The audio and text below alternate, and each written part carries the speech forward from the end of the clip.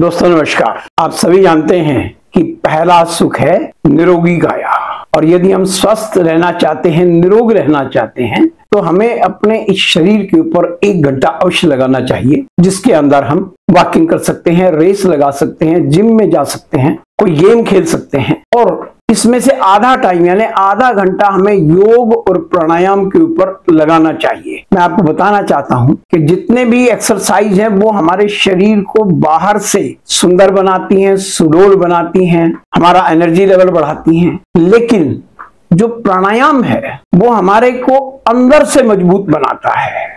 प्राणायाम हमारी बायोकेमिस्ट्री को ठीक करता है। इससे हार्मोन अच्छी मात्रा में निकलने लग जाते हैं मेटाबॉलिज्म अच्छा हो जाता है, इससे पाचन प्रणाली बहुत अच्छी हो जाती है। तो प्राणायाम के बारे में जानना हमारे लिए बहुत ज़्यादा आवश्यक होता है। आज के वीडियो में हम एक विशेष प्राणायाम, अनुलोम विलोम प्राणायाम अल्टरनेट ब्रीदिंग के बारे में जानकारी प्राप्त करेंगे। इसको कैसे किया जाता है? इसको करने से हमें क्या लाभ होते हैं और इसको करने के लिए हमें किन किन सावधानियों का पालन करना चाहिए? क्या करके हम अनुलोम विलोम से पूरा लाभ उठा सकते हैं?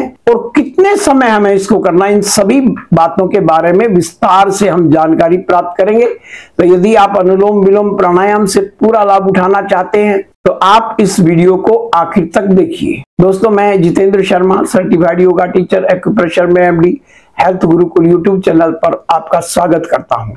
यदि आपको आज का वीडियो अच्छा लगे तो इसे लाइक कीजिए, शेयर कीजिए, हमारे चैनल को सब्सक्राइब कीजिए और बेल आइकन को प्रेस कीजिए, जिससे आने वाले वीडियोस की नोटिफिकेशन आपको समय पर प्राप्त हो सके। चलिए आज का वीडियो शुरू करते हैं। सबसे पहले मैं आपसे बात करना चाहूँगा कि अनुलोम विलोम प्राणायाम को करते समय हमें कौन सी गलतियाँ नहीं करनी चाहिए। पाँच पॉइंट ऐसे हैं जिनका हमें ध्यान रखना चाहिए। पहला है अनुलोम विलोम प्राणायाम करने के लिए हमें एक विशेष आसन में बैठना आवश्यक है, जिसके अंदर पद्मासन है, सुखासन है या सिद्धासन है। इनमें हम बैठ सकते हैं।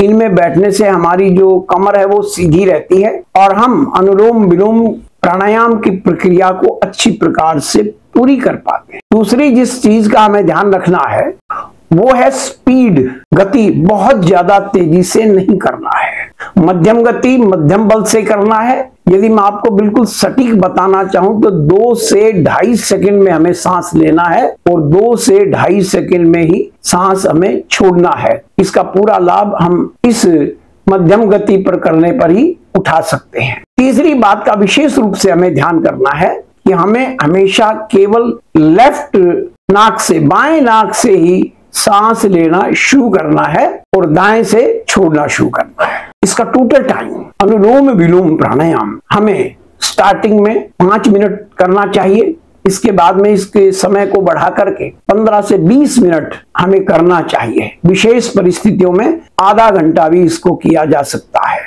और पांचवी बात है, जब आप अनुलोम विलोम प्राणायाम कर रहे हो तो आपके विचार सात्विक तो होने ही चाहिए, साथ में आपके जो विचार हैं वो पॉजिटिव होने चाहिए। देखिए, आपको पता है कि अनुलोम विलोम प्राणायाम से बहुत से व्यक्तियों ने अपना बीपी ठीक कर लिया, बहुत से लोगों ने अपने हार्ट की प्रॉब्लम को हल कर लिया कोलेस्ट्रोल को ठीक कर लिया, तनाव को दूर कर लिया।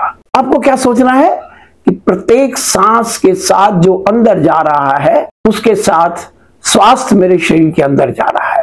और जो सांस बाहर जा रहा है, उससे बीमारियाँ मेरे शरीर से बाहर जा रही हैं। आपको ऐसा नहीं सोचना कि हो गया होगा किसी और का, बीपी ठीक, मेरा तो होना नहीं। नेगेटिव विचार नहीं करने हैं। इन पाँच बातों का तो आपको विशेष रूप से ध्यान रखना है, जिसके द्वारा हम अनुलोम विलोम प्राणायाम से पूरा लाभ उठा सकते हैं। अब हम आते हैं इसको करना कैसे है? आप जो मैंने आसन बताए हैं, पद्मासन, सिद्धासन या सुखासन, उसमें बैठिए। और यदि आप मजबूर हैं, नीचे नहीं बैठ सकते तो आप कुर्सी पर बैठ के भी इस प्राणायाम को कर सकते हैं। एक शांत, साफ़ और हवादार जगह पर आपको इस प्राणायाम को करना है। आसन में बैठने के बाद में आपकी कमर और गर्दन सीधी होनी चाहिए। आप इसके प्रोसेस को देखिएगा।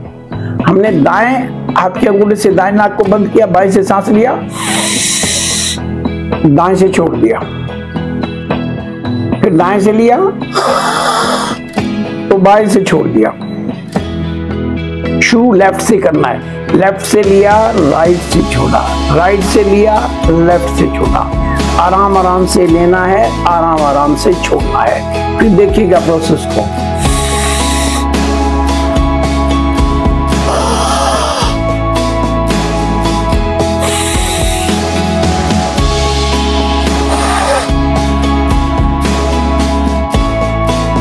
इस प्रकार से हमें अनुलोम विलोम प्राणायाम को करना है। स्टार्टिंग में हम एक दो मिनट करके भी रुक सकते हैं। इसके बाद में पाँच मिनट लगातार हमें इसको करने की प्रैक्टिस करनी है। पाँच मिनट करने के बाद कुछ समय रुकना है। थोड़ी हाथ पैरों की एक्सरसाइज करनी है। फिर दोबारा पाँच मिनट करना है। फिर थोड़ी देर रेस्ट करना है। फिर पाँच मिनट करना है। यदि आप इस प्रकार पंद्रह मिनट कर लेते हो तो इसका जो पूर्ण लाभ है वो आप प्राप्त कर सकते हो। हम देखेंगे इससे हमें क्या क्या लाभ होते हैं। पहला लाभ है, ये हमारे चिंता और तनाव को कम करता है। अनुलोम विलोम प्राणायाम करने से हमारा मन शांत होता है।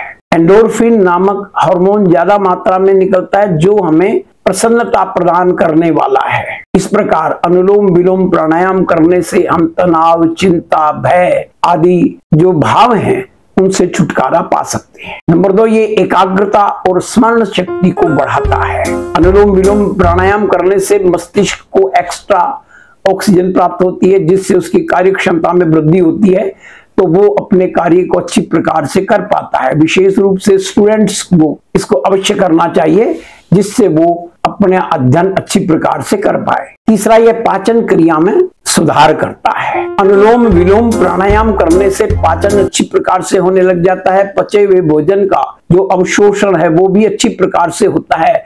और जो पाचन की समस्याएँ हैं, जिसके अंदर गैस है, एसिडिटी है, कब्ज है, अपचन है, उससे हमें छुटकारा मिलता है। नंबर चार, ये हमारे ब्लड प्रेशर को कंट्रोल करता है। आज हर व्यक्ति हाई बीपी का शिकार बनता जा रहा है। कारण है उसका सेडेंट्री लाइफस्टाइल कारण है उसका तनाव में रहना। तो ये सब प्रकार की समस्याओं से छुटकारा दिला करके हाई बीपी को कंट्रोल करने का कार्य करता है। नंबर पाँच, ये हमारी रोग प्रतिरोधक क्षमता को बढ़ाता है। अनुलोम विलोम प्राणायाम करने से हम अपने आप को बाहर से आने वाली बीमारियों से बचा सकते हैं और लंबे समय तक हम स्वस्थ जीवन जी सकते हैं। नंबर छह, ये डिप्रेशन और जो मस्तिष्क संबंधी बीमारियाँ हैं, जैसे अल्जाइमर है, उससे हमारा बचाव करता है। ये हमारे मन को शांत रखता है, तनाव रहित रखता है तो हम इस प्रकार की बीमारियों से अपने आप को बचा सकते हैं। नंबर सात, ये बेहतर नींद लाने में सहायता करता है। जिन लोगों को अनिद्रा की समस्या है, नींद नहीं आती है, उन्हें रात्रि में सोने से पहले पाँच मिनट अनुलोम विलोम प्राणायाम कर लेना चाहिए।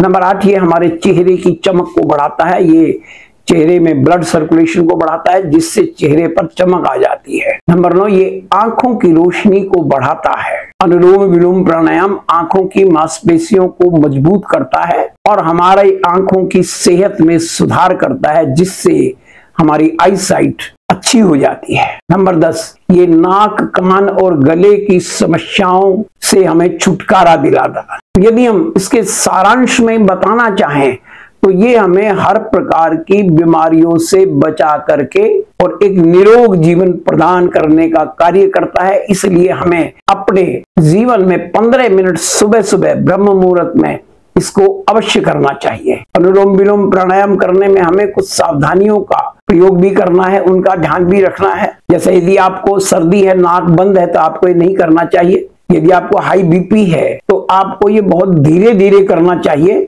और किसी ट्रेंड योग शिक्षक के निर्देशन में ही आपको इसको करना चाहिए। प्रेगनेंसी की अवस्था में भी महिलाओं को ये डॉक्टर की सलाह पर और प्रशिक्षित योग शिक्षक के निर्देशन में करना चाहिए। शुरुआत में थोड़ी देर करें, एक दो मिनट करें, रुक जाए, एक दो मिनट करें, फिर रुक जाए। धीरे धीरे पाँच मिनट पर आप इसको लेकर के जाएँ और कुल समय पंद्रह मिनट धीरे धीरे बनाएँ। अगर आपको कोई असुविधा हो तो तुरंत रुक जाए।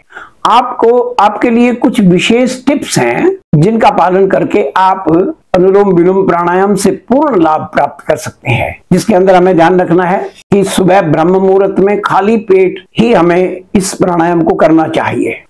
अभ्यास से पहले थोड़ा सा गुनगुना पानी पी लें तो और ज़्यादा अच्छा रहेगा। अपनी आँखें बंद करके करें। ध्यान मगन होकर के अनुलोम विलोम प्राणायाम करेंगे तो आपको ज़्यादा लाभ प्राप्त होगा। पूरी सांस लें और छोड़ें। और जब आप अनुलोम विलोम प्राणायाम कर रहे हैं तो अपने मन की आँखों से चलते हुए सांसों को देखें। अपना सारा ध्यान चलते हुए सांसों पर लगाएँ। दोस्तों, इस प्रकार करने से आप अनुलोम विलोम प्राणायाम से पूरा लाभ उठा सकते हैं। यदि आप इसकी प्रैक्टिकल नॉलेज प्राप्त करना चाहते हैं तो प्रातः काल पाँच बज के पंद्रह मिनट पे मैं एक फ्री योगा क्लास का आयोजन करता हूँ। आप उसमें सादर आमंत्रित हैं। ये जूम के ऊपर और यूट्यूब चैनल के ऊपर इसका आयोजन किया जाता है। आप इसमें सादर आमंत्रित है। आपको आज की बात कैसी लगी? इसके बारे में कमेंट बॉक्स में जाकर के अपने विचार अवश्य लिखिए। मुझे आपके कमेंट्स का इंतज़ार रहेगा। इस वीडियो को इतना ध्यान से देखने के लिए आपका बहुत बहुत धन्यवाद। मिलते हैं अगले वीडियो में। तब तक नमस्कार।